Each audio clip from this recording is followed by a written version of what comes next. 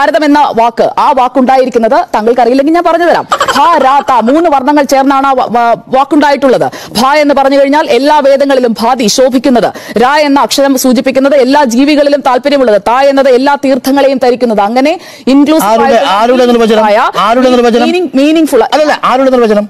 Sir source വേണം. നിർത്തു sir source വേണം. സോഴ്സ് കൊടുക്കാൻ ഞാനിത് ഡെസർട്ടേഷൻ സമർപ്പിക്കുന്നു.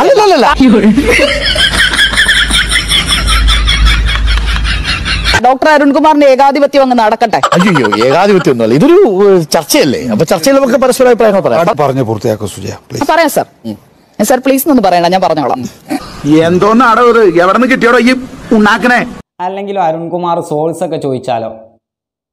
സോൾസ് എന്ന് പറയാൻ സുജയ പാർവതിയുടെ കയ്യിലുണ്ടാവുക വല്ല സംഘി വാട്സപ്പ് യൂണിവേഴ്സിറ്റിയുമാകും അല്ലെങ്കിൽ ഏതെങ്കിലും ഒരു സംഘപരിവാർ നേതാവിന്റെ പുസ്തകമാവും.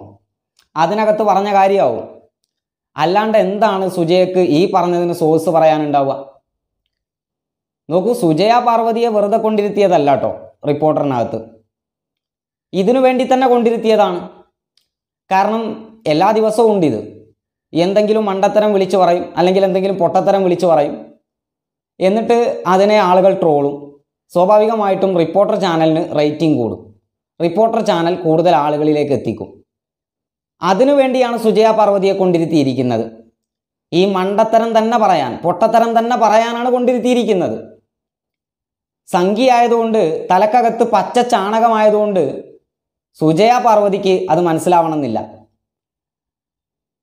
സുജയ പാർവതിയെ സപ്പോർട്ട് ചെയ്തുകൊണ്ടിരിക്കുന്ന ധീര വനിതയാണ് ഭയങ്കര സംഭവമാണ് എന്നൊക്കെ പറഞ്ഞുകൊണ്ടിരിക്കുന്ന പൊട്ടന്മാർക്കും അത് മനസ്സിലാവണമെന്നില്ല. എന്തായാലും ഭാരതത്തിന് കൊടുത്ത നിർവചനം കണ്ടില്ലേ നിങ്ങൾ? ഇപ്പോൾ എന്താ യഥാർത്ഥത്തിൽ പ്രശ്നം? ഇന്ത്യ എന്ന പേര് മാറ്റി ഭാരതം എന്നാക്കുന്നു. ഇനി ഇന്ത്യ ഇല്ല. ഇന്ത്യ ഇല്ല എന്ന് പറയുമ്പോൾ ഇന്ത്യക്കാരൻ എന്നും പറയാൻ പറ്റില്ല. അപ്പോൾ ഭാരത് ഭാരതീയൻ ഇതാണ് ഇനി ഉണ്ടാവാൻ വേണ്ടി പോകുന്നത്. നോക്കൂ. ഇങ്ങനെ ഇന്ത്യ എന്ന പേര് മാറ്റിക്കഴിഞ്ഞാൽ ഇവിടുത്തെ പട്ടിണി മാറും. ഇന്ന് രാജ്യം അനുഭവിച്ചുകൊണ്ടിരിക്കുന്ന സാമ്പത്തിക പ്രതിസന്ധിക്ക് പരിഹാരം ഉണ്ടാവുമോ? ഈ രാജ്യത്ത് നടക്കുന്ന അഴിമതി ഇല്ലാതാവുമോ? ഈ രാജ്യത്തെ വീടില്ലാത്ത മനുഷ്യർക്കൊക്കെ വീടാവുമോ? തൊഴിലില്ലാതെ അലയുന്ന യുവാക്കൾക്കൊക്കെ തൊഴിൽ ലഭിക്കുമോ രാജ്യത്തിന്റെ പൊതുമേഖലാ സ്ഥാപനങ്ങൾ കോർപ്പറേറ്റുകൾക്ക് തീറെഴുതി കൊടുക്കുന്നത് അവസാനിക്കുമോ? കർഷകരെയും തൊഴിലാളികളെയും ദ്രോഹിക്കുന്ന നടപടികൾ നിൽക്കുമോ? മണിപ്പൂരിലും ഹരിയാനയിലും ഇങ്ങനെ രാജ്യത്തിന്റെ വിവിധ സംസ്ഥാനങ്ങളിൽ നടക്കുന്ന വർഗീയ കലാപങ്ങൾ അവസാനിക്കുമോ ഇന്ത്യ എന്ന പേര് മാറ്റിയാൽ ഇതൊന്നും നടക്കാൻ വേണ്ടി പോകുന്നില്ല. നമ്മളൊക്കെ ഞമ്മന്റെ ഐ ഡി കാർഡ് മാറ്റേണ്ടി വരും. അത്രയേ ഉള്ളൂ. വേറെ ഒന്നും സംഭവിക്കാൻ വേണ്ടി പോകുന്നില്ല എന്ന് ഐ ഡി കാർഡിനകത്ത് പാസ്പോർട്ടിനകത്ത് ആധാർ കാർഡിനകത്തൊക്കെ കൊടുത്തിരിക്കുന്ന ഇന്ത്യ എന്നതങ്ങ് മാറ്റേണ്ടി വരും.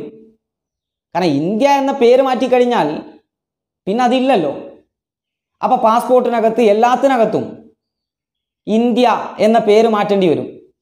അപ്പോൾ അതിന് ആൾക്കാർ ക്യൂ നിൽക്കേണ്ടി വരും. ഇനിയും ആൾക്കാരെ ദ്രോഹിക്കുക തന്നെ. ഇനി ഇത് ഇപ്പം അടുത്തെന്നെങ്കിലും ആക്കാൻ വേണ്ടി പോകുന്നുണ്ടോ? വരാൻ പോകുന്ന ലോകസഭാ തെരഞ്ഞെടുപ്പിന് മുമ്പ് അത് സംഭവിക്കാൻ പോകുന്നുണ്ടോ? അതൊന്നുമില്ല. ചർച്ച നടക്കും. എന്തിനാണ് ഇപ്പോൾ ഈ ചർച്ച നടക്കുന്നത്? യഥാർത്ഥത്തിലുള്ള പ്രശ്നം ചർച്ചയാവാതിരിക്കണം. രാജ്യത്ത് പട്ടിണിയാണ്. കർഷകർ തൊഴിലാളികൾ സമരത്തിലാണ്. ഗുസ്തി താരങ്ങൾ സമരത്തിലാണ്. മണിപ്പൂരിൽ കലാപം നടക്കുന്നു. ഹരിയാനയിൽ കലാപം നടക്കുന്നു. രാജ്യത്തിന്റെ വിവിധ പ്രദേശങ്ങളിൽ വലിയ പ്രയാസങ്ങൾ ഉണ്ടാകുന്നു ഉത്തർപ്രദേശിനകത്ത് മതം നോക്കി കുട്ടികളെപ്പോലും ആക്രമിക്കുന്ന ദ്രോഹിക്കുന്ന സ്ഥിതി ഉണ്ടാകുന്നു. എല്ലാ നിലക്കും രാജ്യം നശിച്ചുകൊണ്ടിരിക്കുന്നു. നോക്കൂ നിങ്ങൾ അഴിമതി. അദാനിയുമായി ബന്ധപ്പെട്ടുകൊണ്ടുള്ള അഴിമതി കഥകൾ ഈ രാജ്യത്ത് പുറത്തു വരുന്നു അത് വലിയ വിവാദമാകുന്നു ചർച്ചയാകുന്നു. അപ്പോൾ പിന്നെ എന്ത് ചെയ്യണം? ഈ ചർച്ചയൊക്കെ മാറ്റി നിർത്തണം. അതിനോ ഇന്ത്യ എന്ന പേരിൽ തന്നെ തൊടണം. അപ്പം അതാവും ചർച്ച.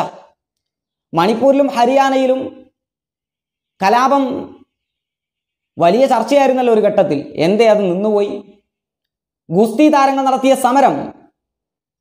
ആ സമരവുമായി ബന്ധപ്പെട്ടുകൊണ്ടുള്ള വാർത്തകൾ എന്തേ നിലച്ചു? അവർക്ക് നീതി ലഭിച്ചതുകൊണ്ടാണോ? മണിപ്പൂരിൽ കലാപം അവസാനിച്ചതുകൊണ്ടാണോ അല്ലല്ലോ. ഏകീകൃത സിവിൽ കോഡ് എന്നൊരു ചർച്ച കൊണ്ടുവന്നു ആ സമയത്ത്. ഇപ്പോൾ ഇന്ത്യയാണ് വിഷയം. നോക്കൂ നിങ്ങൾ ഇന്ത്യ എന്ന് ഉച്ചരിക്കാൻ പോലും യോഗ്യതയില്ലാത്തവരാണ്. ഇന്ത്യയുടെ രൂപീകരണത്തിൽ ഒരു പങ്കുമില്ലാത്തവരാണ്. ഈ പേര് മാറ്റുക എന്ന് പറയുന്ന അത്ര ചില്ലറ കാര്യമാണോ? ഇന്ത്യയുടെ ഭരണഘടന പൊളിച്ചെഴുതേണ്ട അവസ്ഥയുണ്ടാവില്ലേ?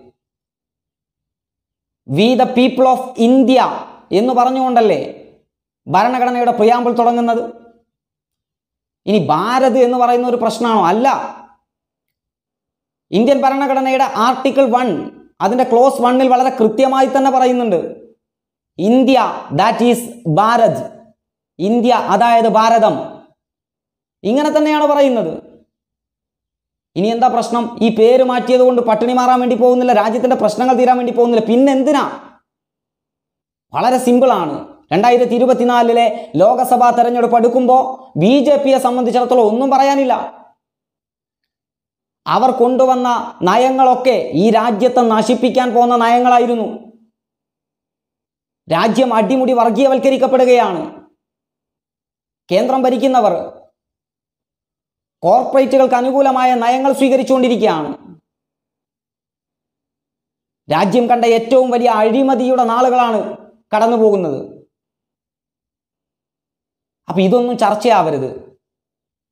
ഇതൊക്കെ ഈ ചർച്ചകളൊക്കെ പോകണം അപ്പോൾ തൽക്കാലം ഈ ചർച്ച കൊണ്ടുവരണം. അതാണ് ഇപ്പോഴത്തെ ലക്ഷ്യം. അത് അതിനു വേണ്ടിയാണ് ഇപ്പോൾ ഇത് ചർച്ചയാക്കുന്നത്. ഈ മാധ്യമങ്ങളൊക്കെ ഇത് വലിയ ആഘോഷമാക്കുന്നത് ഇതിനു വേണ്ടി തന്നെയാണ്. കേന്ദ്ര ഗവൺമെന്റിന്റെ യഥാർത്ഥ പ്രശ്നങ്ങളുമായി ബന്ധപ്പെട്ടുകൊണ്ട് വല്ലതും പറയുന്നുണ്ടോ? ഇവരാരെങ്കിലും? മാധ്യമങ്ങൾ? അവർ തന്നെയാണ് ഇപ്പോൾ ഈ ചർച്ച വലിയ ആഘോഷമാക്കുന്നത് അല്ലേ? മാധ്യമങ്ങൾ. അതെന്തിനു വേണ്ടി തന്നെയാണ്? മറ്റു ചർച്ചകളൊക്കെ നിൽക്കാൻ വേണ്ടി തന്നെയാണ്. തൽക്കാലം അതിന്റെ മുമ്പിൽ വീഴാൻ മനസ്സില്ല. പിന്നെ ഇന്ത്യ എന്ന് പറയുന്നത് അങ്ങനെ അങ്ങ് മാറ്റാൻ പറ്റുന്ന ഒന്നൊന്നുമല്ല അങ്ങനെ മാറ്റണമെങ്കിൽ പ്രിയാമ്പിൾ മാറ്റേണ്ടി വരും. ഭരണഘടനയുടെ പ്രിയാമ്പിൾ കാരണം അതിനകത്ത് we the people of India എന്നാണ്. ആ ഇന്ത്യ മാറ്റേണ്ടി വരും അവിടുന്ന്. ആളുകളെ പൊട്ടന്മാരാക്കാണ്. ഭയങ്കര രാജ്യസ്നേഹം കൊണ്ടാണത്രേ. ഇന്ത്യയുടെ രൂപീകരണത്തിൽ ഒരു പങ്കുമില്ലാത്തവരാണ് ഇവർ. ഭരണഘടനയെ അംഗീകരിക്കാത്തവർ ജനാധിപത്യത്തെ മതനിരപേക്ഷതയെ ഇന്ത്യയുടെ നാനാത്വത്തിൽ ഏകതയെ ഇതിനെയൊന്നും അംഗീകരിക്കാത്തവരാണ്. ദേശീയ ഗാനത്തെ ദേശീയ പതാകയെ.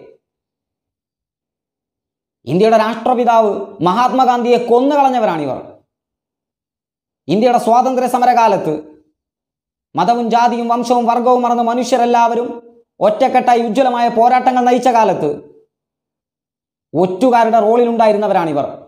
ഇന്ത്യയെ ഒറ്റുകൊടുത്തവരാണിവർ. ബ്രിട്ടീഷുകാരുടെ മുമ്പിൽ മാപ്പെഴുതി കൊടുത്തവർ. ആഭ്യന്തര ശത്രുക്കൾക്കെതിരെ യുദ്ധം ചെയ്യാൻ ഊർജം സംഭരിച്ചു വെക്കണം. ബ്രിട്ടീഷുകാരോട് യുദ്ധം ചെയ്യരുത് എന്ന് ആഹ്വാനം ചെയ്തവർ. അവരാണിത്. മനസ്സിലായില്ലേ? എന്തായാലും കൊള്ളാം. ഞങ്ങൾക്ക് തോന്നിയതൊക്കെ ഞങ്ങൾ ചെയ്യും. എന്ന് കാണിച്ചു തരാണ് ആർ എസ് എസ്. ജാഗ്രതയോടെ ഇരിക്കണം എന്നതാണ്. മറ്റൊരു വീഡിയോയിലൂടെ നമുക്ക് വീണ്ടും കാണാം. അബു അരീക്കോട്.